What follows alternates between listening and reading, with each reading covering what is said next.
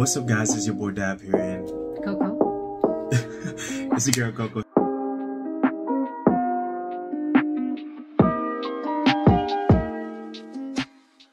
So we're gonna give our honest thoughts, thoughts and opinion on what we think about uh, comic base wise, what happened. But spoilers, just for anybody who clicked on the video, there's gonna be spoilers. So stay tuned. Who whoever wants to stay in the Alert. Alert. Spoiler alert. Okay. All right, what's good, everybody? So we just finished Moon Knight, yo, and I would say it was He's too excited. amazing. It was thrilling.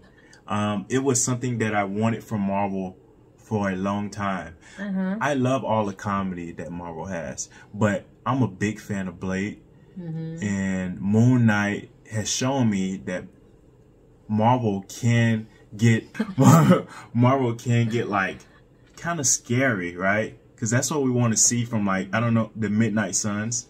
Uh, so I'm excited for that. But uh, what do you think? What do you think, Coco? I love it. Yeah. I love it. Yeah. Yeah. It's um it kept me on my seat. I was like this, like, oh my god, oh my god. No, for real. I was like, what the hell? This is a horror movie I'm watching.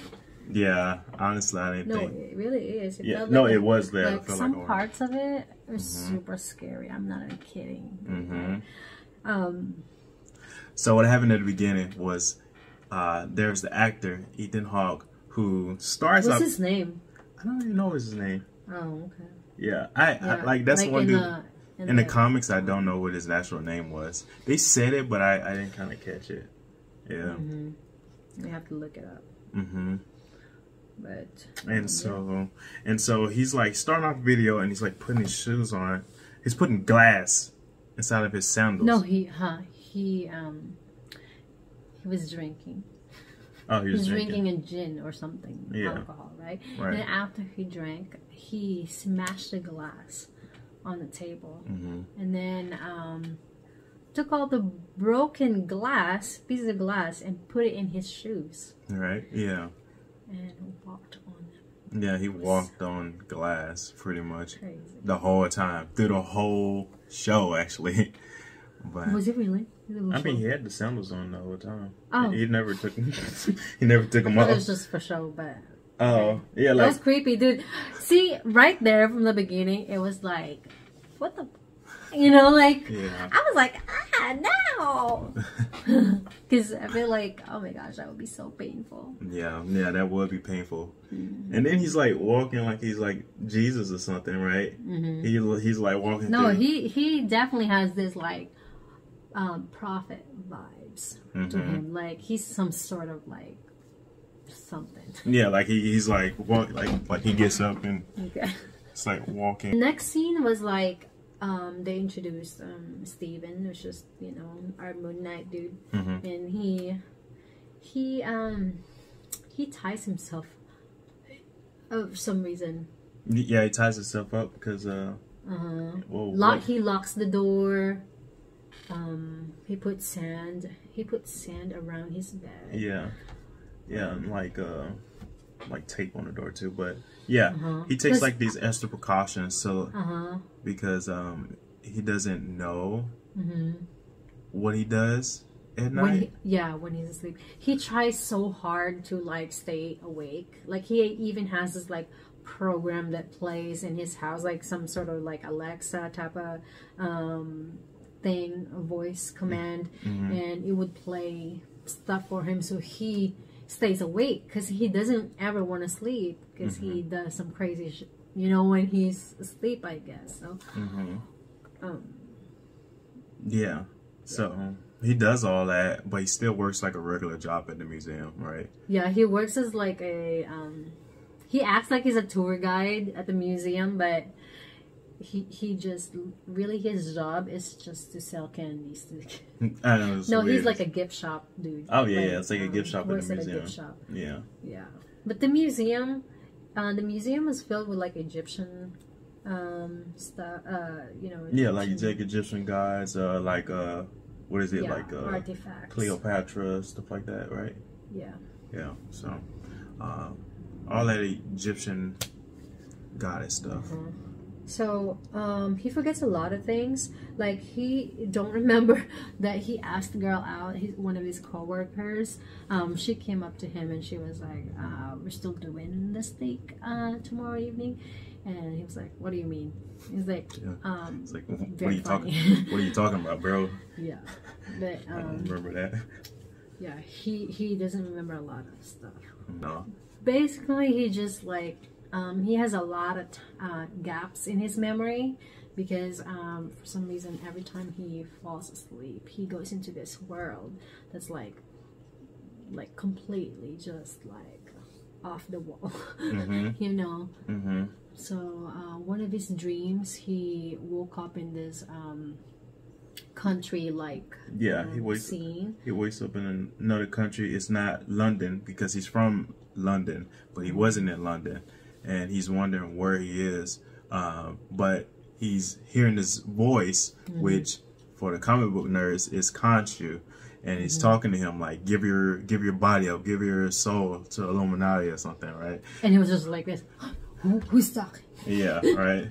yeah. So, um, and eventually, like over time, uh, damn, what happens after that? Um, so he woke up, right, and he like Oh yeah, it was a Happened. dream. Yeah, um Okay, go ahead. yeah. Three, So two, he woke up and people were shooting at him, right? And so he goes through like these phases where like people are shooting at him and right before like a bullet may hit him or something, right? He has this like twitches where and then next thing you know, he wakes up and everybody's dead, right? So you can tell that someone else is taking over his body. Um, like Khonshu was saying, give your body up, but they instead just take take it by force pretty much. Um, Ethan Hawke. Basically Ethan Hawke's character um found out that he's there at that location and he um Ethan Hawke called him a mercenary hmm Yeah, so he called him a mercenary. And he was like, "I'm no. What are you talking about? Like, I don't know you. I'm just, you know, a gift shop person. like, I work at a gift shop." Um, and um, what is that gold thing that he was like holding?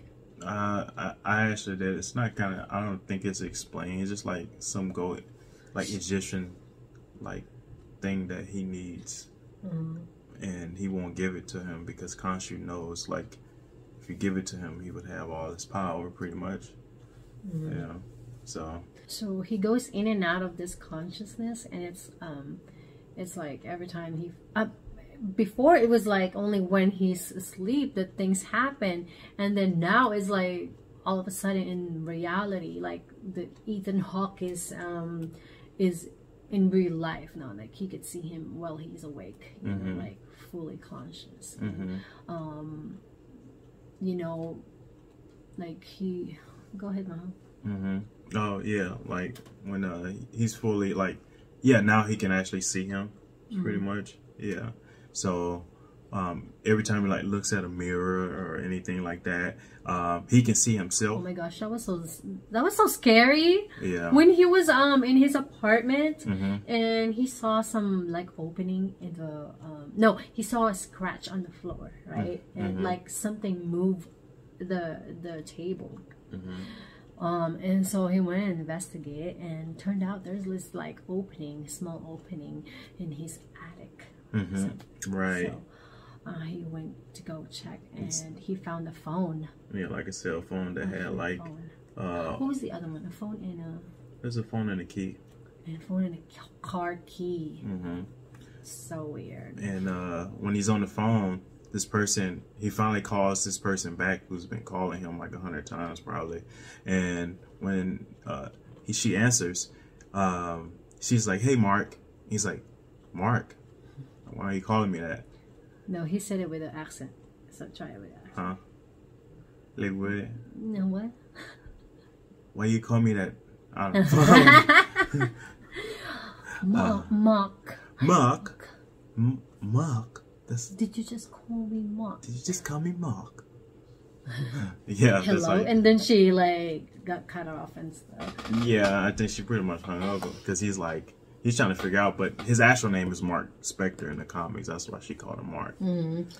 And then he started seeing these things, and um, like his reflection um, was talking to him. It was so creepy, guys. Oh my god, you guys need to see it. It was so scary. Mm-hmm. Um, and then this this like figure that's like super tall figure that keeps following him, following him in the elevator. Oh my mm-hmm. god! Oh, like, country, yeah. It was so scary. Okay. Mm-hmm. Um. Yeah. no, the elevator good. scene really alive. Yeah, and then the old lady showed up. Yeah. yeah, yeah, that was yeah, so scary. That was so funny. Yeah, that whole a lot lady, of jump. Uh, that whole lady's like, I need to get out of here, bro. Uh huh. like, yeah. Dude, I thought she was gonna turn into something like creep, creepy mm-hmm. again, but. Um, yeah, I think it was a way of Khonshu just messing with him. Mm-hmm. Mm-hmm. Um, and then the one scene after all of that happened, and he goes back to the museum, and Ethan Hawke uh, is there, and pretty much like everyone there at the museum is under his control. Mm-hmm.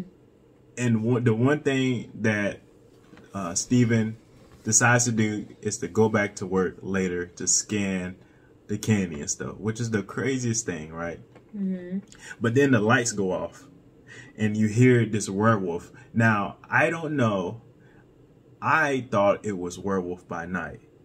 Now, it might be a regular wolf, but it looks like a regular wolf. Yeah, but let me know down in the comments what you guys think. If it's if it's werewolf by night or a regular wolf, right?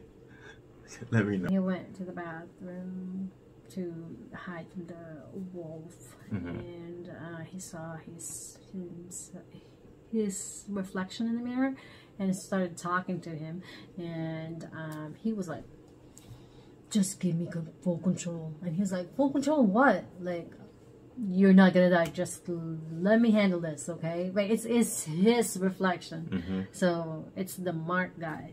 Um, yeah, and uh, he started like transforming into this like mm, the full oh, the costume mm-hmm. and um the costume yeah the cos yeah this is costume the outfit the moon knight outfit yeah okay? it's like a part of him like mm-hmm. he when he turns into moon knight beat the shit out of the wolf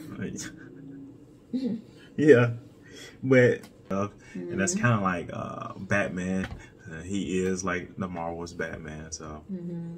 that's why he looks like that. But right in that, I think that was it, right? Yeah. Yeah. So that's there's no there's no preview of the second episode, Mm-mm. so we're just gonna have to wait. But yeah. The first one really, ah, woo.